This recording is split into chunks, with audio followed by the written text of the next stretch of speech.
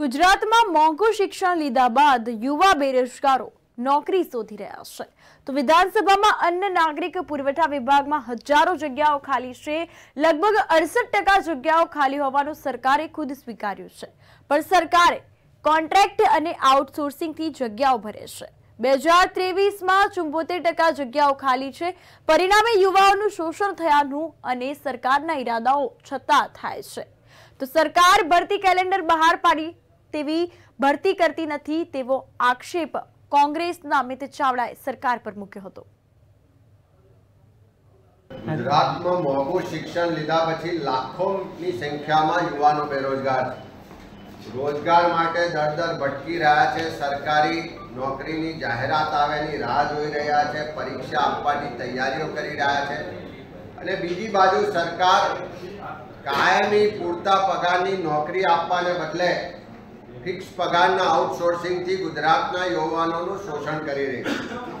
આજે ગુજરાત વિધાનસભાની પ્રશ્નોત્તરીમાં અન્ન, નાગરિક પુરવઠા વિભાગ તરફથી જે જવાબ મળ્યા છે, એનાથી સ્પષ્ટ થાય છે કે આ સરકાર અનેક જગ્યાઓ ખાલી છે.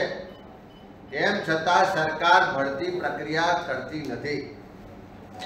પ્રશ્નોત્તરીમાં આજે કહેવામાં આવ્યું કે ગુજરાત નાગરિક પુરવઠા વિભાગ અને એના તાબા હેઠળના જે વિભાગો છે, એમાં જે કર્મચારીઓની ઘટ છે, સરકારે પોતે સ્વીકાર્યું છે કે આ વિભાગમાં જે મંજૂર મહેકમ છે ચૌદસો ને એકત્રીસનું, એની સામે બે હજાર બાવીસની સ્થિતિએ જોઈએ તો અડસઠ ટકા જગ્યાઓ ખાલી છે.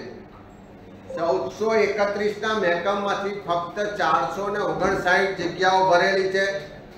અને બે હજાર ત્રેવીસના વર્ષમાં એથી પણ ખરાબ પરિસ્થિતિ કે બે હજાર ત્રેવીસમાં ચૌદસો ને એકત્રીસમાંથી ફક્ત ત્રણસો ને છોતેર જગ્યાઓ ભરેલી. એટલે કે ચુમ્મોતેર ટકા જગ્યાઓ ખાલી છે. સરકાર પાસે પૂરતું મંજૂર મહેકમ છે. જગ્યાઓ ખાલી છે. તેમ છતાં સરકાર કાયમી ભરતી કરીને ગુજરાતના યુવાનોને રોજગાર નથી આપવા માંગતી. પણ કોન્ટ્રાક્ટ ને આઉટસોર્સિંગથી સેવાઓ લઈ રહ્યા અને એના જ કારણે આજે ગુજરાતનો યુવાન રોજગાર માટે દર દર ભટકી રહ્યો છે. સરકાર ખાલી ભરતીની જાહેરાતો હવે ભરતી કેલેન્ડર બહાર પાડે, પણ સમયસર ભરતી નથી કરતી. આ જવાબો પરથી સ્પષ્ટ થાય છે કે બે હજાર બાવીસમાં અડસઠ ટકા જગ્યાઓ ખાલી હતી.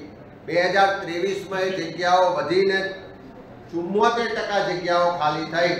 આજે બે હજાર ચોવીસ આવ્યું પણ હજુ પણ કોઈ ભરતી કરવામાં આવી નથી. એનો સ્પષ્ટ મતલબ છે કે સરકાર નિયમિત ભરતી નહીં કરી, ખાલી ભરતી કેલેન્ડરોની જાહેરાત કરે છે અને ગુજરાતના યુવાનોને કાયમી જે નોકરી આપવાને બદલે ફિક્સ પગારને કોન્ટ્રાક્ટથી શોષણ કરી રહી છે.